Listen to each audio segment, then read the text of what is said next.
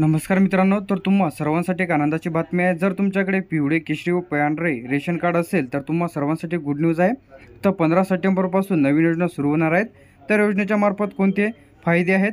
तर त्यानंतर पंधरा तारखेपासून जे काही नवीन योजना सुरू होणार आहेत तर सर्वात मोठी बातमी व सर्व रेशन कार्ड धारकांसाठी आनंदाची बातमी आहे. तर आजच्या व्हिडिओमध्ये संपूर्ण माहिती पाहणार आहे. तर व्हिडिओला स्किप न करता शेवटपर्यंत बघा. तर त्यासाठीच पहिले तुम्हाला प्ले स्टोअर ओपन करून घ्यायचं आहे. प्लेस्टोर ओपन केल्यानंतर इथं तुम्हाला अप्लिकेशनचं नाव टाकायचं आहे. मेरा राशन इथं मेरा राशन टाकल्यानंतर इथं तुम्हाला जे आहे सर्चवरती क्लिक करायचं आहे. तर अशा प्रकारचं इंटरफेस तुम्हाला दिसेल.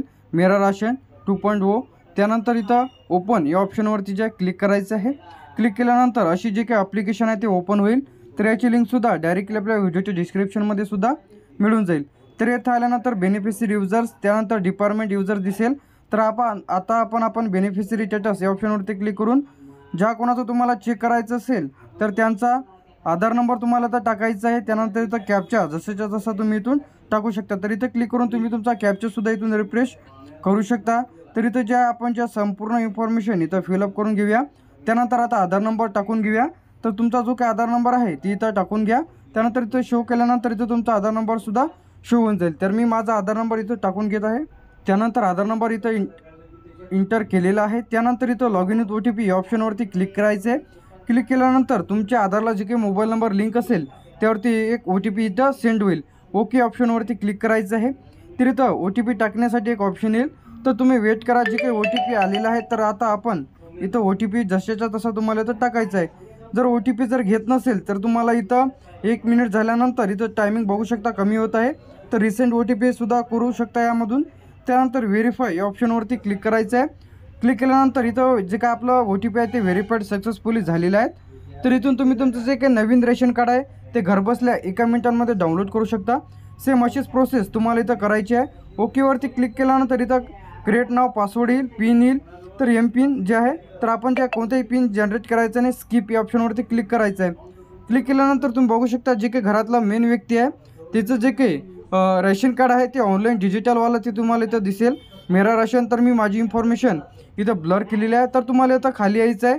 तर यामधून तुमच्या फॅमिलीमध्ये किती मेंबर्स आहे तुमचं रेशन आता कुठपर्यंत आहे ते तुम्ही इथून चेक करू शकता. तर आता सेल रिसिप्ट त्यानंतर इथून तुम्ही क्लिक करून त्याची जी काही रिसिप्ट आहे तीसुद्धा तुम्ही इथून सेल रिसिप्ट इथून जे आहे घेऊ शकता. तर आपण जे इथून बॅक येऊया. तर थोडी इन्फॉर्मेशन मी ब्लर केलेली आहे. त्यानंतर बेनिफिट्स आता जे काही योजनेच्या माध्यमातून सर्व नागरिकांच्या बँक खात्यात त्याचे जे काही पैसे आहेत तिथं जमा होणार आहेत. तर बेनिफिट्स गव्हर्नमेंट ऑफ फॉर्म यावरती जे आहे क्लिक करायचं आहे क्लिक केल्यानंतर आतापर्यंत जी काही अमाऊंट इथं जमा झालेली आहे तुमच्या बँक खात्यामध्ये एप्रिल दोन हजार चोवीसमध्ये बाराशे बाराशे एकोणपन्नास मेमध्ये बाराशे एकोणपन्नास जूनमध्ये बाराशे एकोणपन्नास जुलैमध्ये बाराशे एकोणपन्नास त्यानंतर ऑगस्टमध्ये तेराशे एक्केचाळीस रुपये तर टोटल अमाऊंट जे आहे सहा हजार तीनशे चाळीस रुपये. तर सबसिडी जी आहे ते इथं तुम्हाला दिसेल. त्यांना तो टोटल तर याचे जे काही अमाऊंट आहे जर तुम्हाला कशा प्रकारे याचा विड्रॉल करायचा आहे जेणेकरून आता जे काही नवीन सरकार पंधरा सप्टेंबरपासून नवीन योजना इथं सुरू करणार आहे तर योजनेच्या माध्यमातून तुम्ही सुद्धा याचे जे काही पैसे आहेत ते विड्रॉल करू शकता. तर ते कशा प्रकारे करायचे याचे पैसे कोणत्या खात्यामध्ये जमा होणार आहेत? तर डी बी टीच्या माध्यमातून आधार लिंक बँक खात्यामध्ये तुमचे जे काही पैसे आहेत ते इथं जमा होणार आहेत. त्यानंतर इथून तुम्ही तुमचं जे काही रेशन कार्ड आहे इथून ट्रान्सफर करू शकता.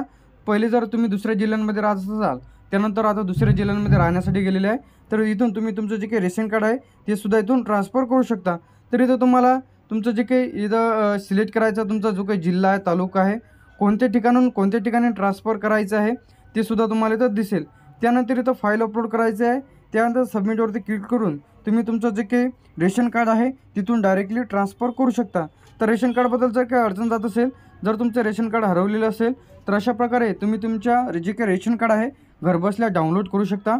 त्यानंतर तुमच्या फॅमिलीमध्ये किती मेंबर्स आहे ते सुद्धा इथून चेक करू शकता. तरीसुद्धा रेशन कार्डबद्दल काही अडचणी असतील तर जे काही नवीन योजना येणार आहे त्याबद्दलसुद्धा सर्व अपडेट्स तुम्हाला आपल्या O M T information tech YouTube चॅनलला बघायला मिळेल.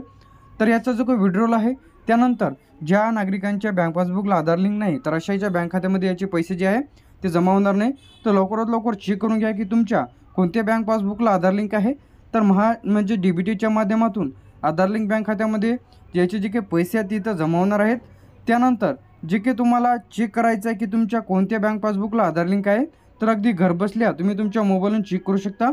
तर यावरती डिटेलमध्ये व्हिडिओ आपल्या OM T information tech YouTube चॅनलला अपलोड केलेला आहे. तर लगेच पहा तर अशाच अपडेटसाठी आणि नवीन व्हिडिओसाठी चॅनलला सबस्क्राईब करून ठेवा. थँक्यू